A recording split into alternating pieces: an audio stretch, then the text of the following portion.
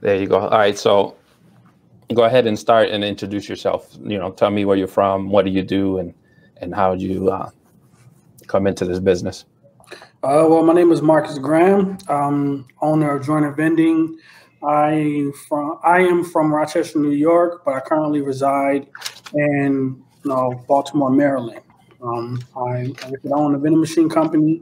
I've been doing this for about four and a half years, and it started off as a side hustle, has became a you know a major part of my life.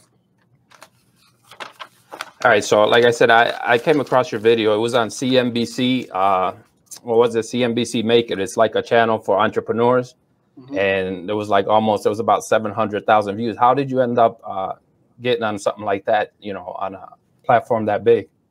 Uh, it was organic. Um, someone from there saw me on Instagram or Twitter, one of my social media um, pages. Um, I talk about the business often.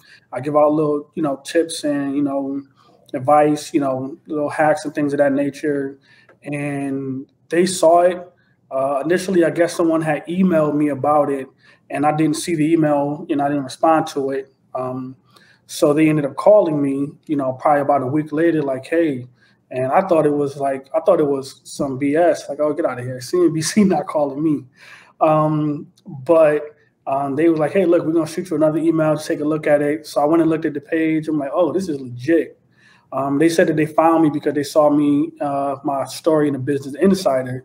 Um, so they was like, yo, we really want to take that and make it just bigger. Know, I put in a video, um, and I was all for it. But even the whole time, I thought it was like, man, this ain't really, this ain't real. Um, until until I actually, even when I filmed it, I'm like, man, this probably not even gonna come out. It wasn't until um until they, you know, a guy sent me a text like, hey, it's up, and me and my fiance, we just pulled it up on the TV. It was like, oh, this is real. Yeah, CNBC, they their niche is kind of like in the entrepreneurial space. You know what I'm saying? They have that show that I used to watch. What was it called? Uh, with um, Mark Cuban and and what was the other shows? Shark Tank.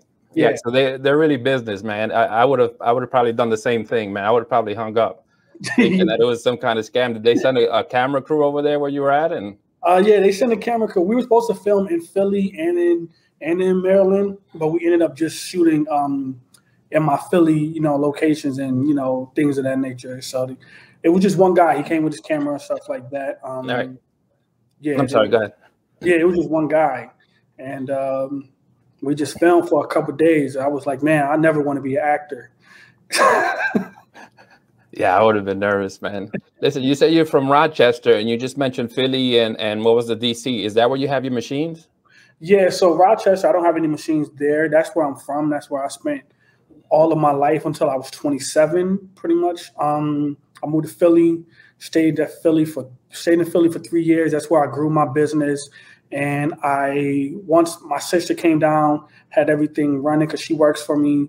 Um, once she was able to take over, you know, my locations in Philly and Delaware, um, I moved to Maryland. You know, I moved to Maryland. I've been in Maryland for actually a year now. Um, yeah, I think like two days ago makes a year. Yeah, I moved to Maryland a year ago on the 28th.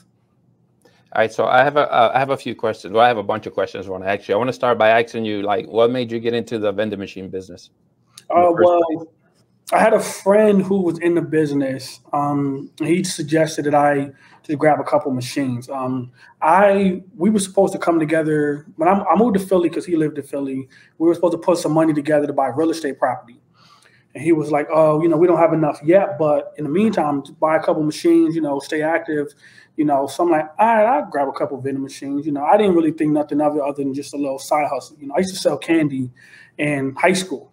Um, you know, I was the class president. I organized our senior trip, you know, by selling candy from Sam's Club. So I'm like, all right, it'll be the same thing, just you know, in the vending machine.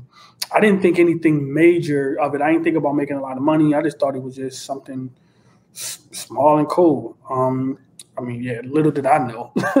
well, you see, that's how it starts, man. Like I have a, a, bunch of people on my channel. They're they're entrepreneurs like me and you, man. And and I always try to look for things that you know where you can start out with a small investment. You know, you're just not like a brick and mortar where you have to pay a hundred grand, two hundred grand, you know, to build a you know, get equipment. You know, this is something that you could probably do with a thousand dollars or so. Yeah, I yeah, mean, yeah. So, um, so how much did you make in your first year? You said you start. You said you started out with forty five hundred dollars, right? That was your first initial yeah, investment. Paid, yep. I'm sorry. I paid about forty five hundred for everything: card readers, machine, product, delivery. My first location. Um, I didn't make much at all my first year. Probably like a couple thousand at most. Because for my first few months, I made only like I was it was grossing like sixty dollars a month between both machines. Um, okay. And eventually that grew. Um, when I did, I like you know once I got used to it being there, and I would do little things like put a dollar or put a scratch off on the back of some of my snacks to create some buzz, you know, to bring attention to it. Um, so by the time I took that out, you know, right, I think like a week before the pandemic, um, it was like it was making 250 a month. But I didn't make a lot my first year at all. My first year really was about really just learning and being a business owner for the first time, you know, being like the first business owner in my family. So you went through it. I mean, it's always hard when you don't, you know, when you first start and you know you're learning the curve so you say you didn't make hardly anything, and what do you make now today in 2022? What do you make a year now? What is your growth? Oh man, the machines, my machines are gonna earn about like let me see, my business is gonna earn like half a million this year. so you went from nothing to half a million, and how how long was that that learning curve? Like how many years between the first year till now? When was did you start? Two, two, two years. So two years. So you went from zero to half a million in two years. No, no, four. I'm sorry. Well, it'd be four years because it was 20 February 2018 to 2018. That's what I thought. Yeah. Yeah, yeah, four. But man, that's still good, man. Yeah, they slowly it progressed and then boom, it shot up um the year of the pandemic. Um, it shot up. And I know people a lot of people think that, you know, you know, everything's closed and stuff like that, but it actually was like and I'm not saying that to like you know, no, I, people lost their lives. I'm just saying specifically for a business. For me, it was a blessing in disguise and being able to identify all of these locations that were in need. That when they were relying upon people going here or going there, and it was no longer there. So like, oh, let's find something, you know, that we can keep in house. Like that's that really helped me grow a lot. Um, and making sure I got in front of people um, while everybody so, was home so you started out with two machines, right? And how many machines do you have now? Um, tw- uh, I want to say 21, but I'm it's going to be 23 because I'm going to put some machines in somewhere next. 23 week. machines. That's yeah. not bad, man. That's not bad at all, man. Now I would have. The, I've sold. I've sold. Like if I never sold machines or anything of that nature, sold some of my spots, I would have like 50 or 60 machines. But I didn't want that many um, I wanted, to, I really wanted to focus on quality over quantity. Um, right. By getting very, very high earning locations. Yeah, your best And make yeah, and then when and I have a staff in different states that it's easier for them to maintain if they only have to go to one spot that earns five or six thousand dollars a month. They go there maybe three, four times a week, but they spending two hours a day during that whole thing versus if it was seven spots that made five thousand. Now they got to be over here, be over here, you know. So um, people will be like, "Dang, ain't no way you can make X amount off of just twenty machines." It's like you can, you know, if you like you get some big spots and just can. Location is everything, you know, for every business, not just vending machines, for every business. Yeah. Um, so aside from the obvious, like, what do you need to to start a vending machine business besides, you know, the machines?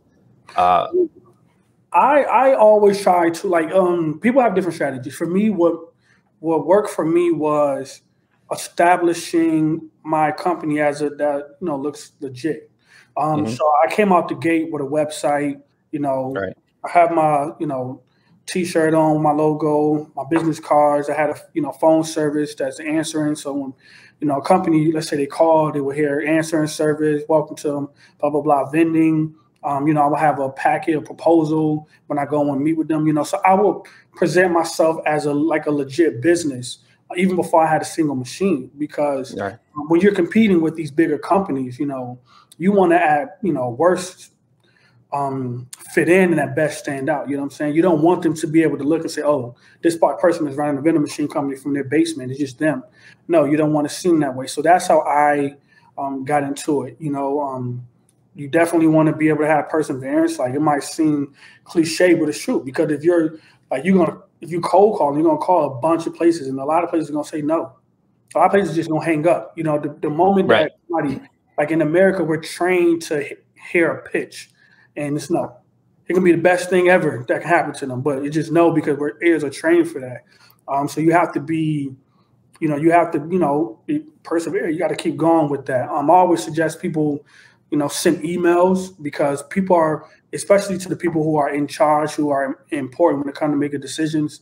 Like they're going to read their emails more than, you know, being on the phone. Yeah. They don't really have the time for that, you know. And then when you have to email, a lot of us in in the world are visual. You know, so if I see this stuff, you know, I okay, I can see I, I, get a free vending machine. I don't have to service it. I don't have to pay for anything. Versus, hey man, would you want to try a vending machine? And you like, you know, what I'm saying like that, like you know, like, you got to give them the benefits, man. And I always, man, you know, most of my viewers they they're into the transportation business, you know, transport and freight, you know, in box truck or cargo van. And I try to have the, I, I hit hard, like, you know, I tell them, you know, you got to have your branding in place uh, from the beginning. You know, I see your shirt, it says joiner vending. You know, it's real small. You know, it's very important. Two words. You know, most of the the biggest companies in the world, you know, they're either one word or two word companies. Uh, you got to have a website, and I'm trying to show them how to build a website, but it's hard to teach somebody that that's never done it. You know, so I'm trying to figure out the easiest way to build their website, man. And I think that's important. You just hit it all on the nail, man. The branding, uh, the website, you know, everything has to be professional, man. Mm-hmm. Yeah. I so I appreciate you saying that, man. Yeah, you gotta present yourself as a big business, and then as a business. Yeah, if you're, you know, you're a business, you have to act like a business. That's what I always tell people. You know, act like a business. You know, some people think saving a couple bucks here and there. You know, if you're a business, just act like a business. Get everything you need. You know, yep. get the number right. Get the office space. The, you know, for you, you have a warehouse, no, for your your vending no, machines? I don't know because we buy we buy the machines third party and put them in there. You uh-huh. know what I'm saying? So whether so you don't even have to store them. No, we don't have to store them. Like it's, it's not even like I have like four vending machines on my garage right now. That's gonna be going places. Um, but for the most part, no, because this is important. You you want to you want to buy machines um, specific to the locations they're going to be in. You know what I'm saying? Okay. So you know one mistake that people make all the time is they buy a vending machine and say, "All right, now I'm gonna find somewhere to put it." But the problem with that is let's say you bought a snack machine, but they need a drink machine. Right. Or, you know, say you bought a snack machine, or they needed a combo machine where it's half and half. Or they did need the snack machine, but they need a machine that's bigger than that or smaller than that. It might not fit through the door. It may not look aesthetically pleasing. Like it's all of these things to where you have to go and assess that location and then say, all right, bet this machine is going to work great here. I'm going to need a machine that's going to be around this size, that's going to have this capabilities, that's going to look this way. Um, so like that's that's that's important, you know. So never like you know I don't, I always tell people don't buy no machine until you have a place to put it. You know what I'm saying? You okay. don't want to buy a machine and put it in storage, or you know you got to pay for it to be in storage. Now it's counterproductive. Your point right. of having that machine was to make money, not to be spending money to have it. You know. That's right. All right, so here's another question. Um, you know the little small candy machines. You know they have them on the you know the barber shops. They're like four little things. Do you do you are those things even worth getting, or just going straight to the big machines with the sodas, the chips, and and the the big snacks? I mean, um, it's a um, small entry to get in. You know, a little machine you can buy. I think no, I think that's still a good entry. You know, like you you do that and use that money to buy you a full size machine if you can. You, you know what I'm saying? That. Like again, like if you learning like how to be a professional, because that's important. Like I, I like people really don't understand that. Like you have to learn, you have to be a professional at all times. You know what I'm saying? Like, and some people don't know they don't come right away. You know, but with the candy machines, you're probably stocking them once a month. You might one day out the month, you go to all your spots and you stock all those things.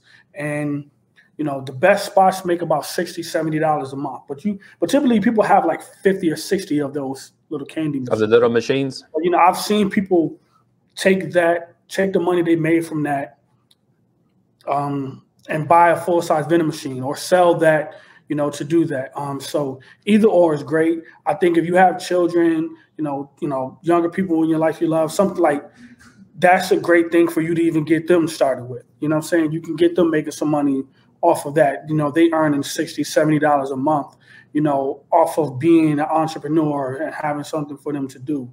Um, so whether yeah. you're an adult or if you have a child or you want to, you know, or if you're, you know, a child or you're a teenager or whatever, you, you know, going to listen to this, like that's a low entry point and you can make some money and save money to, you know, to go into full line vending. Right.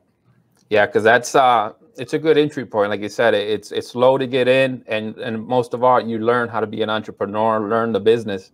But you know, like I said, it's about sixty a month, so it's a numbers game. You know, you would have to buy to make any real big money. You would probably have to set up a lot. Yeah. Um, so, what type of vending machines do you have that most of most of that you do that you sell? Uh, I have I have a lot of um, combo vending machines. I have combo vending machines, half and half. And a, a, big part of that is because the locations that I have them in um, are 24 7, 300 to 500 people there. So they be mm-hmm. wanting food, you know. So being able to have, you know, sandwiches and cheese and crackers and things of that is important for those spots. Um, I just put in my first like little mini market machine in one of my spots. And that's because they want wanted salad and, you know, whatever that spot want, they, you know, they can get because um, it's, it's, this is my first month with them, and it's like like five thousand dollars this month, you know, and that's what some hiccups, you know, with the machine not working for a few days and things of that nature. But you know, pretty much just traditional drinks and snacks with those, you know, four locations having like food items in there, like pastas and ramen. Pastas. Yeah, like we got the you know pasta dinners, you know, you got Alfredo, you got turkey and dressing. You got chicken breast. Like we put those stuff in there, and they they kill them all. You know. So you go from from sodas to uh, snacks all the way to serving food. You know, lunches, maybe mm-hmm. even dinner, some of that stuff. Yeah, the biggest hit, man. Like we, the biggest hit was in my newest location. Um, we didn't have something that we normally would put in there, you know. So we didn't have sandwiches. We're like, damn it, we need to put something in here because there's no sandwiches right. We can't find them. Um, so what we did was like, I right, forget. Let me just, I just grabbed some cheese and crackers um, from BJ's. You know, that's like, I, I didn't want to put Lunchables in there, but it was like kind of shaped in the same thing. I put them in there as a way to just fill them until the, you know I can get some sandwiches. Man, came back there two days later. All three rows was gone. And we was like, oh, we we on to something. So we proceeded yeah. to put those in all of our spots. Same thing. Numbers have gone through the roof. Like so so you can put anything in those things as long as it, it fits and it dispenses. Yep, as long as it fits. And some it's different coils, you know, so different yeah. coils fit different things. But as long as it's in there and it can just yeah, it, you can you can put as much stuff in there as you want and you know try things out. Um, sometimes the place will give you a suggestion, you go with it. Sometimes it works, sometimes it don't. Um, but you, you, definitely want to try to put different things in there. We we stumbled upon a lot of different stuff. Like, man, we ain't got no orange soda, man. Uh, to fill it up, let's just put this peach tea in there. Now, peach tea is one of our main staples now. Like, they cannot get enough of it. Well, that's that explains why you're doing so good now because you have to be able to experiment and, and try different stuff. Usually, people when they do vending machines, they'll go with what sells, and sometimes the machines will be empty for a week before they even tend to it. And so that, if you're willing to change it up, man, I mean, yeah, that's listen. That's a good thing you just said about you know they might not restock for a full week and it's empty. If you see a place like that, that is your cue to take that location. Just that because, is. just because a company has vending machines in there does not mean they're happy with it. My biggest, right. best vending machine locations I have right now was me um, um, taking a location from a vendor who wasn't getting the job done. And when I got this, like like I said, this one spot, um, as of right now, has made ninety one hundred this month. Just only two machines. Ninety one month. So by the end of the day, it'll be about 92, 9300.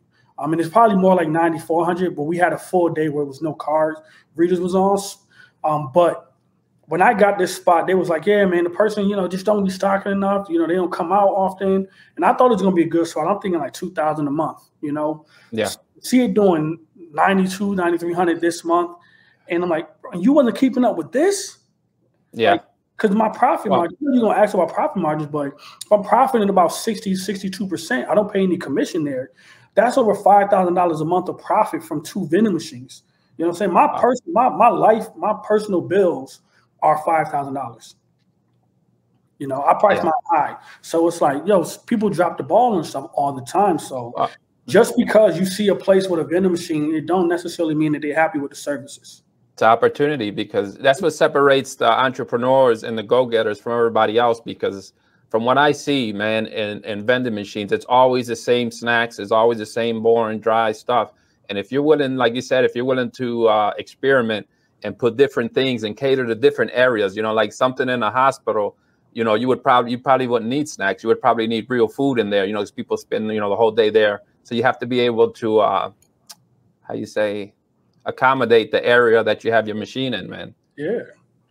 Yeah, that's pretty good, man. I I appreciate uh, the information with that stuff. So, all right. So, what is like the bare minimum to start with, like like a machine? You know, like like an investment. You say you, you invested forty five hundred dollars.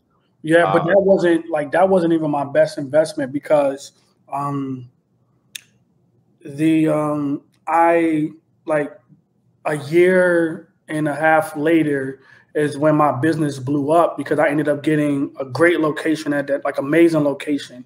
Um and I paid 1000 for the drink machine, 700 for the snack machine, $300 a piece for car readers, so that's 2300 and then the product was probably about four hundred dollars, but I always round up, you know. But let's say five hundred dollars.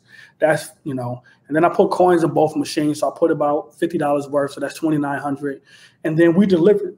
Me and my friends delivered the machines, so we just rented a truck from Penske. So that costed us about hundred dollars, and you know they didn't charge me delivery fee because we was friends. Don't. So we did that. Uh, so it's three thousand dollars for that. It made three thousand dollars the first month of the machines on there. You know, so that was crazy. But like you can get machines for that cheap. You know what I'm saying? That like I've gotten a combo machine for eighteen hundred before, car reader on it, or the twenty two hundred. Um, you can get stuff for way cheaper than that. It's just that the, the the thing is being cheap is expensive. So Can you explain that? so you may start off paying this cheap amount, but three, four months later, you're gonna have to pay more because it was cheap.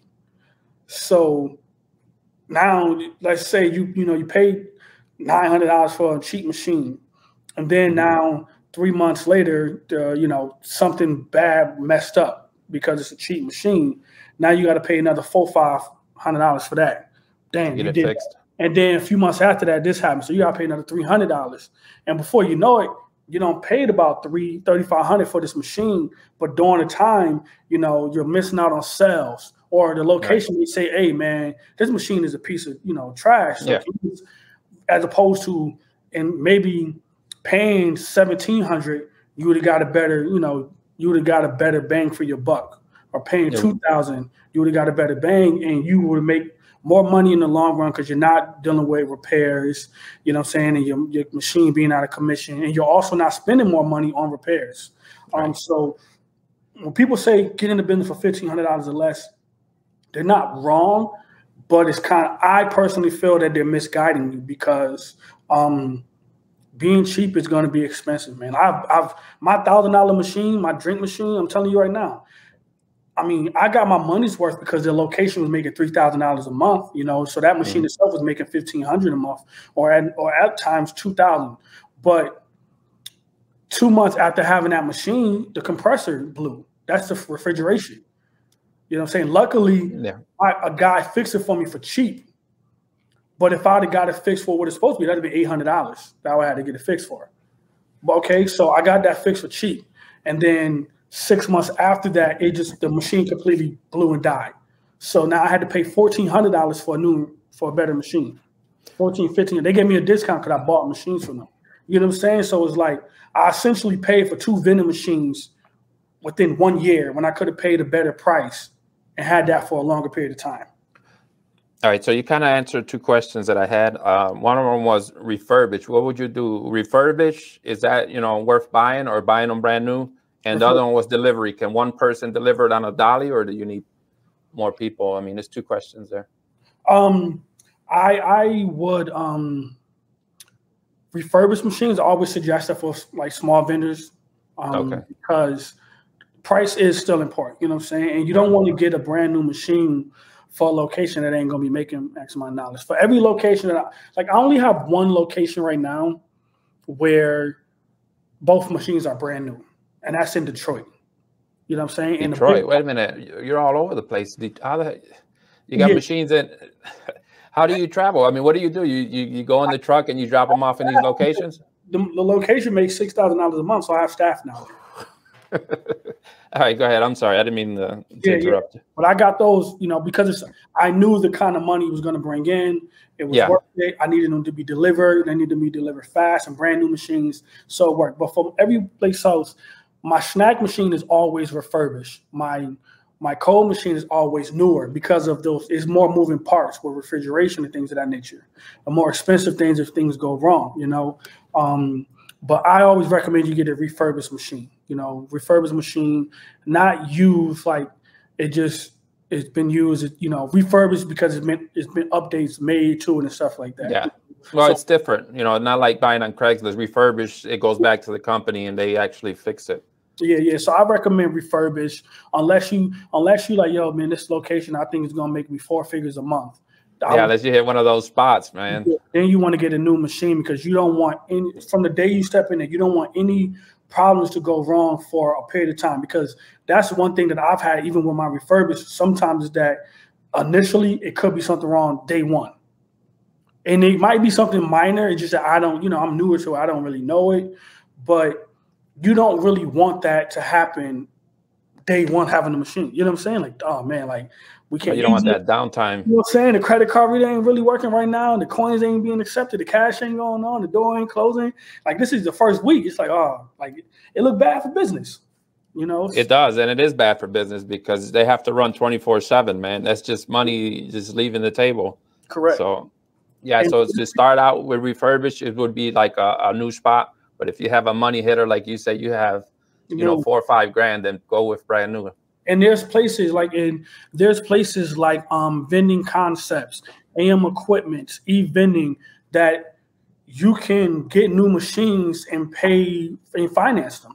You know what I'm saying? Financing if that, you know I'm saying, if you don't have the money, but if you think it's a good spot, um, or if you have the money, but you want to keep some money in your pocket, finance it. You know I'm saying? Let the location pay for it, you know, and maybe you have money to invest somewhere else. You know what I'm saying? So if you are in a position where it's like, look, man, I really don't want these, you know, um, refurbished machines. I want to make sure from day one my stuff is going well do that. You know what I'm saying? Get those refurbished machines. They'll deliver them for you. You're going to need a team to help you get them off the pallet, but that's an option. You know what I'm saying? Because I know that everybody that get into it ain't going to have $2,000 or 3000 right away. So maybe you are paying $200 a month for these, you know, machines. And, you know, if you're able to make $600 a month and they pay for it, that's, that's, that's, that, that can be the move, move for you. So do you recommend always get a combo food and drinks in the same machine? You know, never one of the other. No, I use combo machines. Like I've used combo machines for locations that have like less than like um like 75 people, you know I'm saying? 50, if you have like 50, 60 people, i do a combo machine. Um, I don't want to have a two full size machines for a spot like that. Um, because typically they're gonna you want to you want to condense it so that you know they're going to eat and drink the stuff that they're really going to get. You have a full size machine here, you have to keep stock. A full size machine here, you got to keep stock, and you have to buy a product that you know you might not really need. Um, you can double up or triple up on as much as you want, but it, it would make more sense to just condense it into one machine. Um, but like I said, I have a cold. I have the combo machines. I use it as a cold machine for my big locations. You know what I'm saying? So I remove a snap. I might remove uh, a candy roll there's a you know there's always a candy roll in your machines. I removed the candy roll, add an extra drink roll, and I use the top two shells for food. And I still have a full snack machine, but now I have three rolls of drinks. You know, so I use that one as a cold machine, you know, for food to go in there and drinks to go in there. Um, so that's that's where I've been. Like, you know, so I have two versions of it. Just a combo machine for a small location, not small, but like less than 75 people, and a combo machine as a food machine for big spots, 24 7 spots. Because, you know, I don't put food in places that are that are just regular business things and stuff like that, you know. Um, but for the spots where people are gonna be there in the evening because people are gonna be eating, right. uh, stuff like that. They don't. People don't want to go outside when it start getting dark. You know, people not gonna be running out. You know, people are gonna go get food and stop and grab something or get a doctor's appointment if they're in the daytime. But them spots where you got an evening, that's where you're gonna make a lot of your killing, and that's where you want to put those you know those food items in there. So what is like your biggest money maker between the the drinks, the the snacks, and the food? Like, what brings you the most money uh, out of all those? The drinks. So it's yeah, always a drink. Yeah, yeah. Nine times out of ten, vendors gonna make the most money out of the drinks. Um, out of the drinks. Now that that doesn't mean that they're gonna profit the most from that. That just mean that that's for dollar for dollar is gonna make the most. For me, I profit like almost the most from there too because I don't use um I don't use 20 ounce bottles of, of sodas. I use 16 ounce bottles now. When I started, I was using 20 ounce bottles, but 16 ounce bottles are so much easier to obtain, and there's a higher return of investment in it because even with inflation, sometimes places ain't gonna want to pay 220. They're not gonna really want to pay 250 for a bottle of, you know, of, of soda. You know what I'm saying? You might get your bottle for a dollar ten, dollar fifteen, and you're you're trying to sell it for 250 it's going to be difficult so you might bring it to 225 215 210 but with the 16 ounce bottle i think sometimes they don't even realize the difference in the size because it's a bottle you know yeah. but i might get a bottle for 50 cent 52 cent and if i'm selling it for 185 or 180 you know See, a lot of people don't think that way man you know you have to keep you have to keep testing man because those bottles are big and those vending machines they can be three or four dollars a bottle depending on where you're at. I was at the zoo in yeah. Buffalo, I think uh, a couple weeks ago, man. It was like five or six dollars for for a bottle of soda. What about the cans? Like the cans, the cans. What is the most you can charge for something like that? You say you like the 16 ounce. Yeah, I, for the cans, I would do 135. Um, but are those the, even worth putting in there, or just do the 16 ounces? I, I would prefer. No, I just like I prefer just the 16 ounces. You know what I'm saying? Right. So I get the vending machines that make it perfectly for those. That's where the combo machines for me work best, or you know things like that. Like I, I will even convert a combo machine, um, and just to a beverage machine. Like it's just so much easier when you have like when you have the the drinks where, um, where you can stock them. You know, stock them like chips. Like it's it's different versions of machines. You have the older machines where you put them inside somewhere and it's metal and they got to spin and drop from the bottom. Then you see the glass ones where it's there and then it might just drop forward. But then you know you have the the newer ones. It's like you can put them down in a slot. You know what I'm saying? Put them down in a coil. I like that version better. And if I have a and I don't even try to do canned drinks. Um, I would do the, the the 12 ounce bottle drinks because people like to be able to close the drinks off, keep right. it with the move versus a can. It's like, damn, I gotta throw this away. I gotta drink it here, you know. So I would if I if I have to buy a small thing, I'll buy a 12 ounce bottle versus a 12 ounce can, and I'll charge 135 for it. But I'm probably paying like 35 cent.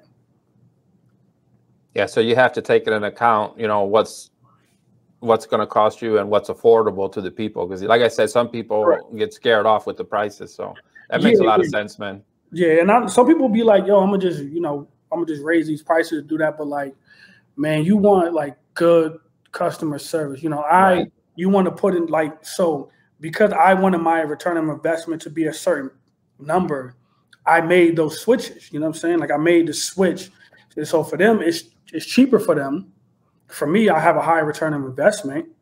Um, you know, so maybe in this spot, maybe I make a little less growth per month, but I'm profiting right. more by that, you know, and they're satisfied because it's like, oh, you know, I'm not paying 250 for a bottle, I'm paying 185. It's a smaller, right. but to them, it is not that much of a big of a difference between 16 and 20 ounce when they're well, you want to keep churning those coils, man. I mean, right. you don't want nobody to say, well, you know what, we'll just wait till we get home or something like that. Correct. Um, so I have another question. This is pretty important. Um, how many hours? It's well, you make about half a million a year. So so it's going to be two questions. How much, how many hours you spend a week stocking and collecting the money on your machines, and how much would it be? How much time would you think it would be for just you know two machines? Because you already um, have a big business. I mean, it's obviously going to take a lot more time. So, and, I um I only have one location left in the DMV area, and that takes about an hour and a half to do. I want to say two hours, two hours at most. No, because if I drive 15 minutes there, probably at most two hours for that spot. That makes a thousand dollars a month. And um, that's for one machine. It's two machines there.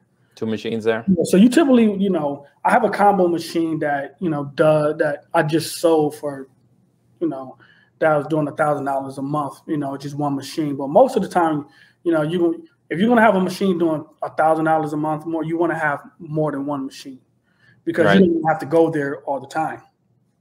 And how often do you go to empty out these machines and to restock them? So the like I said, the one that got two machines, a thousand dollars a month, once a week. Oh, so you go once a week right. to empty them? Right, but the combo machine, where because it's only one machine, I'm going twice, or sometimes it might be three times a week. Um, oh. So, but it would take, it would literally take, it would drive 15 minutes there, pick up the product. That'll take five minutes, and then another 15 minutes. So 30, take me 15 minutes. So for that one spot, one machine, a thousand dollars a month, it would take me an hour and a half per day. Well, that's pretty good because I've heard people, you know, saying they'll go once a month. I mean, once every two weeks or once a month uh, to do machines. If you're doing, if you're going three times a week, that means you're making good money. Right. So, you know but you can go less if you have more machines. So where I was going two times, and sometimes I might have to go three times because it, once it got hot in the summer, it was like, oh, they really going through this Red Bull and stuff. Oh, that's you what know, you want. Three times, but this spot that I have, um, I only go once a week, you know, and it does really great because they're two full size machines, like, and you know, it holds a lot of stuff. So that's pretty good. Like even the spots in De- like Detroit, um, it probably takes them there. I mean, they're still like they're they're not as fast as me because I do this. Um, but I ordered, you know, we ordered a product for them ahead of time, you know, so it makes it like that's one thing people need to do. Order your product from Sam's Club, BJ's, Costco's, Walmart ahead of time. You know, while you're at home chilling, you know, you're on your phone, just order the product. So when you go in there, you just pick it up. You're in there for less than five minutes. That means no. you ain't going in there shopping for 15, 20, 30 minutes. You already did that online. You can just come in and pick that John up, head straight to your location. Um, so for my staff in Detroit, it probably takes them like it takes them two hours a day in for them in Detroit. It takes them two hours a day in Connecticut also, and they go three days a week. So it spends about six hours a week for them. Um, and like I said, Connecticut is five thousand in the first month and Detroit is six thousand a month. You know, so if you're thinking about that, you know, you're doing six hours a week for that. It's not bad. Eight wow. hours. I'm sorry, Detroit. They go four days a week: Monday, Wednesday, Friday, Saturday. So eight hours a week for six thousand a month, and three and three days a week. Well, so six hours a week for five thousand a month. And my sister, she has more locations in Philly, so she works four days a week, maybe five days a week. Uh, but she has multiple spots where she goes to, you know, so it's a full time job for her. And so she gets paid the most because she works for a lot of stuff. But um, yeah, some people really only work like, only do like five hours a week for these stuff, most. Well, I was going to ask you if you had employees, man, but you're talking about Connecticut and Detroit. That's like six, 700 miles. So what do you do? What do you exactly do? Do you like these are all your machines, mm-hmm. but you you put other people on, like you Correct. pay them. So yeah, you give them a percentage, or uh, I, I pay them a flat rate. I pay them a flat rate. Um, so, but it, it kind of comes out to be like a, a percentage because I don't pay any commission at these spots. Like that's one thing that's mm-hmm. important mm-hmm. for me is to not pay commission. You know, one of the biggest misconceptions people always like, no matter what story I do, no matter what I talk about, oh man, he say he make this, but he not talking about percentage. No, you don't. You more times than not, you're not going to pay commission in this business because you're providing a service for them. You know what I'm saying? Well, like they don't want, like they don't really, they're not looking to make money from it. Their biggest thing is they don't want to have to pay for the machines. They don't have to pay for that. Right. You know they don't want to maintain them. I, I right, over here, I have a few offices here where I'm at, and I was talking to the owner. I think it was a couple months ago, and about putting a machine here, and he was telling me that oh, you know, the maintenance, you know, it breaks down. Mm-hmm. So I guess he tried it before, and I went online to look, you know, to see what the prices was. But I, I really don't know anything about vending machines. That's why I I contact you to do this, man, because you know exactly what to do, and plus you you're giving us a lot of game here. Yeah, they don't be wanting that maintenance, man. They don't. No, they don't. They don't want to deal with it at all. Yeah, man. They just the thing is they just don't like. They just want to be like, hey, we just want to use it. You know what I'm saying? Right. We don't want to deal with it. Like, like I just sold a buddy of mine a location. I promise you guys. That company, this company, they bought their own vending machines on location. They bought them. They don't want to maintain them. Right. They want us to service the machines. So whatever money is made from the machines is our money. You know what I'm saying? They just don't want to service it. So we're getting free machines like just, just to make money. You know what I'm saying? But people don't yeah. understand it, you know, because like we advertise free vending machines because a lot of places pay companies for to service for them. And people don't understand why we don't pay commission, you know. Um, but yeah, I pay my staff, you know, I pay them um they did a pretty, you know, like a percentage. Um, but it's really like it's I I estimate it to be around like 10, 15% of, you know, the money and stuff like that. You know, that's what it kind of kind of average around to be because being a little consistent. Um, like I said, my sister gets paid a lot more based on the fact that she she works, she does Connecticut and um, she does Jersey, Philly, and Delaware. She does she does a lot, you know what I'm saying? So she is like a full time salary from it. All right, so I was going to ask you, how do you approach these businesses? You know, where you have your machines, like you well, said, you know. Go ahead. I'm sorry. No, I'm sorry. Oh, well, the shoe. I mean, is it hard to get in? Do you get more rejections than you do uh, people that actually let you bring your machines in? Not anymore for me because majority of my locations come through them coming through my website. So I get emails, I get calls weekly for vending services. I turn down things more than I accept things.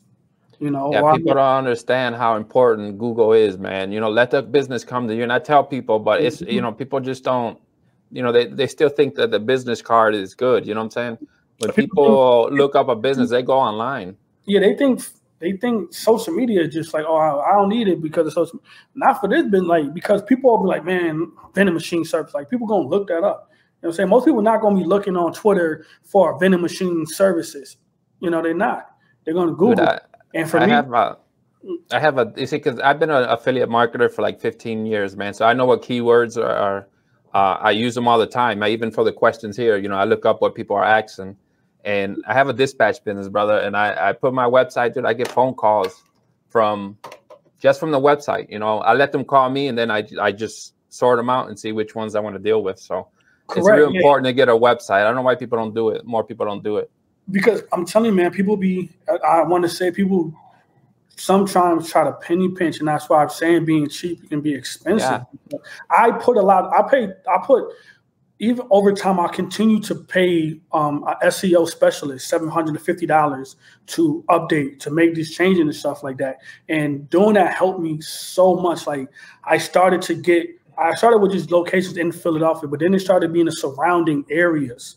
Then it, right. you know, it was Delaware and Baltimore and New Jersey, things of that nature. You know what I'm saying? And and then I was, you know, paying for Google ads. You know, so like those things important. I put a lot of money into my website, having it redone, you know, making it more aesthetically pleasing and things of that nature, like thinking about that kind of stuff. Like, so I get the majority of my stuff from my website. And when they come to me, it's pretty much a done deal. Right. Because they are reaching out to me. You know what I'm saying? They're not wanting no commission because I'm not pitching them, trying to beg them for me to put my machines in there. They're like, hey, can you, this is what we want. Can you help us? Yeah, I got y'all you know, yeah. if it works for me. If not, I might pass it off to someone else. Um, you know, so yeah, the website, man. You know, the website is important. You know, people still cold call, and that's cool. Sometimes you even go in the spot, try to speak to someone. That's the cheapest method. Um, like I said, email. Try to email. You know, as much as you can because they're they're they'll see those.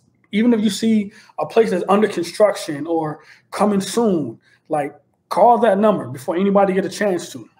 Yeah, well, seen a friend of mine, y'all seen a friend of mine like I seen somebody like get a location like a laundromat from just seeing it was like under construction and new walked in there, saw somebody and like, hey man, you know who blah blah blah got it like, hey, talk to them, done deal, like happened, man. Um, even buying vending machine routes or locations, you know, like existing things, you know. So you go on Facebook Market, you go on Craigslist, things of that nature. Look for somebody selling their vending machine locations or selling their vending machine route and buy an existing thing, you know. And that way, you don't have to go through the hard part of pitching and doing all this stuff. You can buy something existing. It's like buying a real estate property with a tenant in there. So day one, you start making your money back right away. You don't got to do the hard part of a background check or finding a tenant and all that. It's already there. It's already cash flow, you know. So, um, you know, those are just some of the ways that I suggest people do, um, you know, find them a location. All right, so I have a couple more questions. I'll let you go. I mean, I appreciate all the time that that you're giving me. I mean, you're giving me a lot of nuggets, and this is something that I might do in the future because I've always had an interest in vending machine for years. I just didn't have the time, and mm-hmm. I really didn't, you know, you know, I didn't really, you know, I really, really didn't want to get into it right away because I didn't want to go knocking on doors and of businesses to try to get my machines in. But what everything you just said, uh, how you get business. For me, I like people coming to me. That's why I, when you said the SEO, you know, that's search engine optimization, man. I mean, that's how I do everything and paid ads. But you know, like I, like you said, not everybody uses it. I use it for everything that I do. I, I like I like paid traffic, and I like my websites to come up on the top of Google uh, for whatever service I have, man. So I can relate, man. But I wish people weren't like that. I know a lot of people they're just too cheap to spend that money. Yeah, Google is a gold mine. I mean, Google makes billions of dollars because they make their vendors billions of dollars. I mean, it's insane, man. So, one more question. Uh, what is it? Uh, so, what do you tell entrepreneurs that are on the fence? Because a lot of my viewers they're, they're trying to get into the transportation business. You know, they have a little startup capital because they're thinking about buying vans and, and box trucks like you know what if they're on the fence what would you tell them you know to just get them to jump into buying a to get into a vending machine business. Man you never know what life takes. You you know what i'm saying? Like you might jump into the vending machine business and it, it might not even work out for you but you might have met some people you might have met somebody with some business that could help you. you know what i'm saying? Like the same way for me with college you know like going to college allowed me to meet some people that put me in a position that got me to where I am today. You know what I'm saying? Because if I didn't go to college, I probably wouldn't have met the guy that I became friends with, and then like, oh, fuck it, I'm gonna move to Philly. Like those things, like that stuff, you know, is real. You know what I'm saying? Like I didn't get into the vending machine business to make a lot of money. You know, um, for me, I was like I said, it was a side hustle, and then I was like, you know what? My focus should be on eliminating the bill. You know what I'm saying? Instead of saying I want to make all this money, let me just like, all right, man, let me eliminate my phone bill. Let me eliminate, you know what I'm saying, the you know, the light bill. Let me eliminate the, the freaking Wi-Fi, you know, um, like that kind of stuff is where I think people should really look into. You know what I'm saying? And if you look at vending machines like that, I think it would be more helpful. You know what I'm saying? Because I'm blessed to be able to have the locations I have. But if I didn't, I would still be blessed if these things were just paying some of my expenses in my life that would allow me to invest in other things, you know? Right. Um, so I think that's, you know, important, you know what I'm saying? Like that's, that's the best advice I can give someone, you know, it's just that, you know, try some things out. Like this wasn't, this wasn't my grand plan.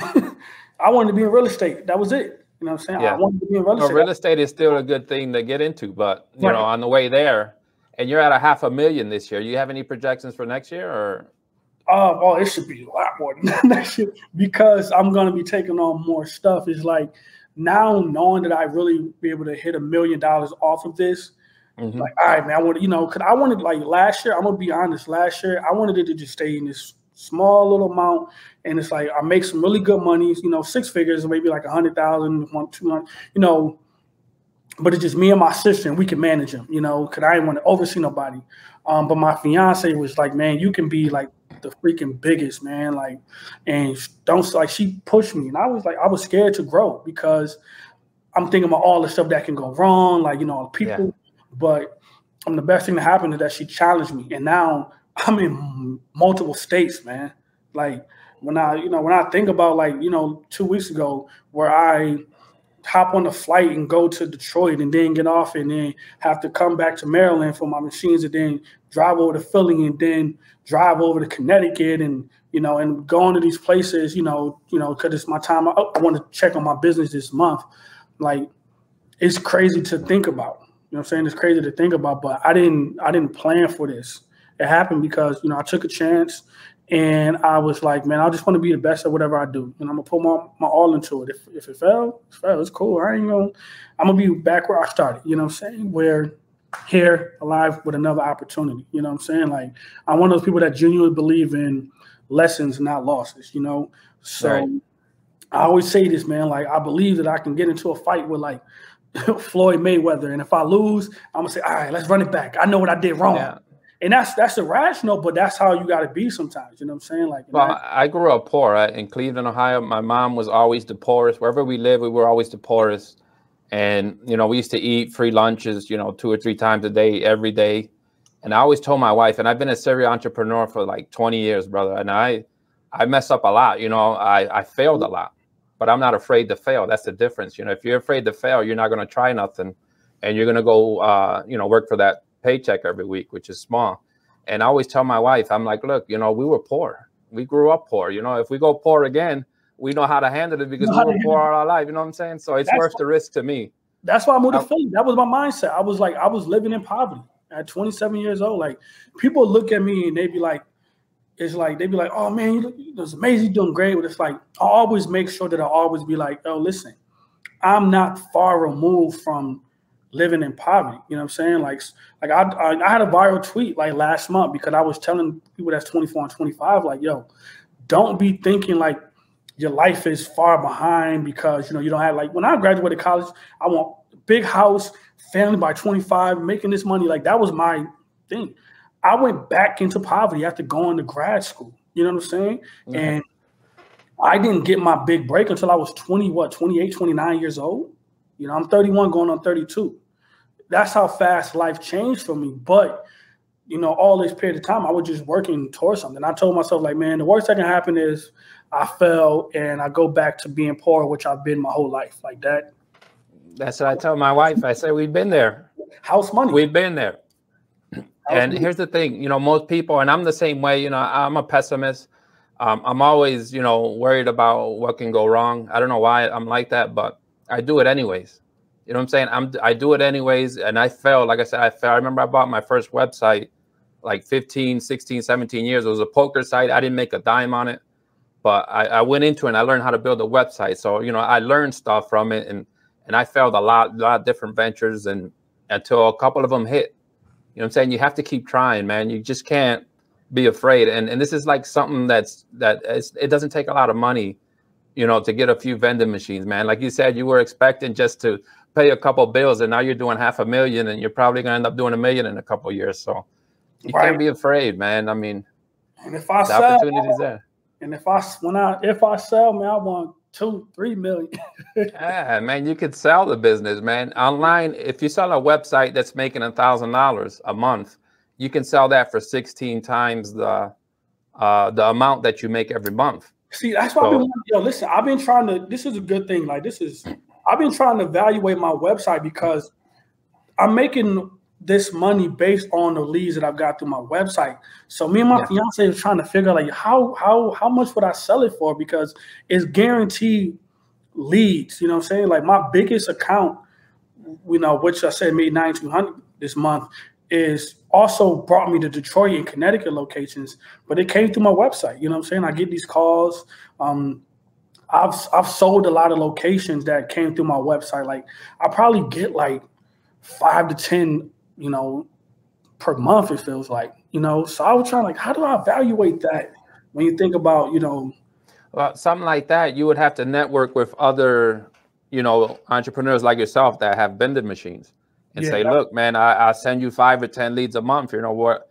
You know, can you give me a thousand dollars for it? And then that that'll be it. You know what I'm saying? But you have to network my I would think you would probably have to go to uh, you know the Facebook and just network with other people. You know, meet other people that are doing the exact same thing that you're doing, but in different areas. You know, and and sell them the leads. I mean, that's what I would do. I mean, I've I've uh, I've sold leads, but not for business leads. These were uh, internet marketing leads. But that's mm-hmm. what you would do. You would have to network with people doing the same thing you're doing, man. But yeah, yeah I mean, I don't know how much you would evaluate a, a business, but you know, if it's making five hundred thousand a year, and if you could sell it for two million, you can retire. I could retire for two million, man. I'll that's what I'm out west, man. I'm telling you right now, I'm looking to do like looking to to to to do that within like two years, be able to get to 2.2, 2.3 million and reinvest. And I've always wanted to buy like, you know, real estate, apartment buildings, things of that nature. Uh, so that's, that's what my focus is right now, man. Yeah, that's listen, man. It's a smart plan, man. You, you you say you wanted to get in real estate. This would be a good way to get into it, man. You can do something else. If I can, when I, yeah, when like I said, when I'm if I can retire in a year or two, dude, I would do it. I don't care, man, and I'll do something else, man. I just, I don't know, man. I'm, I'm just thinking too much. So, you said you have you have a course already, right? Because I, I went through it the other day, and it's got all kinds of stuff here uh, I'm gonna add some more stuff in the next week. I, I didn't like people be asking about the maintenance. I'm like, listen, I want y'all to get to learning and knowing the business before you get into maintenance. Um, but right. I'm gonna add the maintenance part about putting credit card readers on, bill acceptors, you know, coin mechs, so that you don't have to worry about that, you know, paying service calls and all that kind of stuff. Um, but yeah, yeah, I have a I have a, a course that teach you step by step um, everything that I've learned everything that I've experienced, like this is my own stuff. It ain't I ain't have to look up nobody, anything. It's just me. You know what I'm saying? Um, do you have um, you have the link, or you want me to just tell them the link? No, I have it. I have the link here. Uh, what I'll do is I'll put it in the description, and there's like you sent me a a, a, a code, Hustlers, right?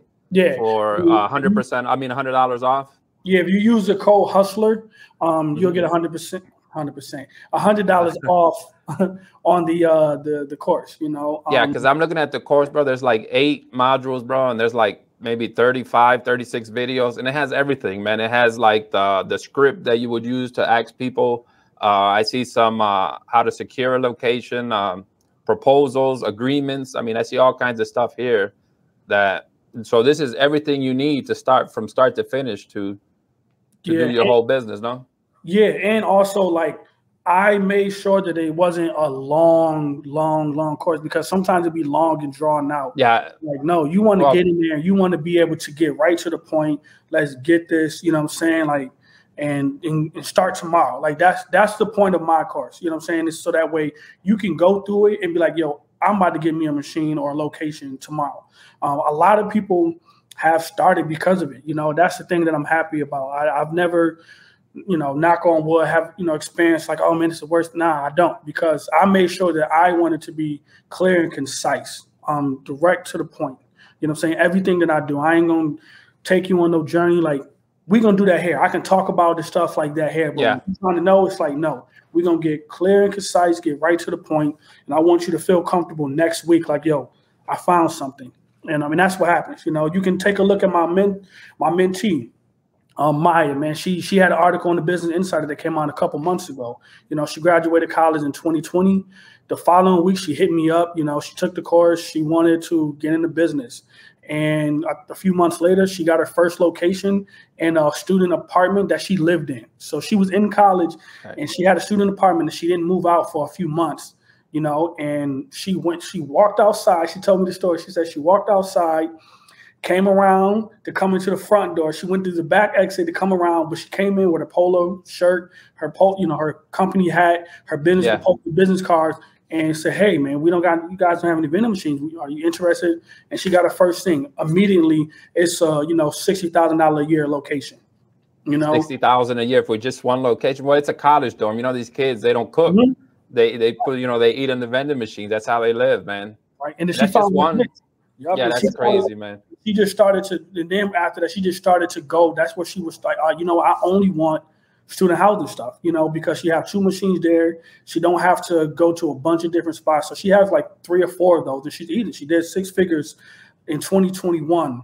You know, a year after graduating college. And mind you, I graduated college in 2013. I didn't make six figures until 2020. You know, I was making thirty thousand a year for from 2013 to 2018. Yeah, thirty thousand is not much, man. That's why I've always been entrepreneur, man. I've never. I had a job when I was like eighteen, man. It was like KFC. My first check was like, I think it was like 150 bucks or something, man. And, and I left. I left all the chicken. I just left. I said, hell with this, and I'll never do that again, man. So she did this with all the, you know, from your course. You know, she's she took your course and then she's following the steps, and that's how she's able to make her six figure business. Yeah, yeah, she did, man, and she she still calls me to this day, and now she's doing her own thing, teaching people, um, which is, that's what it's about. You know what I'm saying? Like, my goal is to have her, everyone that you know comes from you know not under me, but just you know go through the process, you know, um, be better than me. You know what I'm saying? Right. Like, I, like some people, people people are haters, man. They don't want people to do better than them. I mean, there's not. That's the way I see it, man. If you do better than me, I'm happy. You know what I'm saying? That means it, it it it validates everything that I've been saying. You know, you know. So, um, yeah, man. You know, so like I said, man. You know, the link is in the description. Use the coupon code Hustler for hundred dollars off. Um, and you're gonna enjoy it. You're gonna you're gonna love it. Some people gonna walk away from this and they're gonna be like, "Hey, Alex, man, I I started my vending machine business after seeing this video." You know, and that's no. Be- I hope they do because I have a lot of entrepreneurs, man. I mean, they tell me all the time, and and I, I'm an analytics person. You know, you, you was talking about SEO. I look at all the analytics, and even though my channel is specific for transportation, the analytics said that they were looking how to start a vending machine business because Google gives you all the information you need. You know, you just have to be able to read it and use it, and that's why I reached out to you, man. And I think this is the best thing that I reached out to you instead of somebody else because you just gave us a lot of uh, stuff that I would have never even thought about, man. I mean, it's just I appreciate a lot, man. And, I, and it took like an hour, brother. I didn't mean to keep you that long, man. But no, it's like cool. I, Listen, man, when it comes to this, like I, I'm a person like it's hard to talk to people like, you know, because people be trying to, you know, DM me, hit me up, and sometimes I don't think they understand that. You know, if I have a lot of followers here, there, that sometimes it's so hard to get to everyone. But with moments yeah. like this where I can, you know, talk and engage and things like that and put it out that they can listen and watch and I'll be able to talk to so many people at once, you know. Um, so yeah, I, I, ain't never gonna hold back um, in this kind of space, man, because um, it's bigger than me, you know. I know a lot of people didn't even realize that you can own your own vending machine. You know, think about all the years you walk by a machine and think it's just a part of the building. You know, so no. for me, yeah. Yeah, I've always I've always thought about getting into it. I just never did. You know, I did other stuff, but you know, like I said, uh, where I rent my office is the the guy. He's a pretty good dude, man. So I might even talk to him and just throw one in there just to give it a test, you know. Yeah, nah, go ahead, man. just to give it a test, man. But it's just there's like 30, 40 offices here, Bubs. I don't know if I get rich, but I might even give it a test though. We'll see. I appreciate it, brother, man. I I, I really do, man. And what I'll do is uh I'll edit the video and I'll upload it to my channel, and then I'll, I'll do a couple uh uh articles on my blog and I'll SEO it so that way it ranks on the top of Google and continue to send you some traffic. But this is some good stuff, man. I really appreciate it, brother, man. Uh, thank you for having me on, man.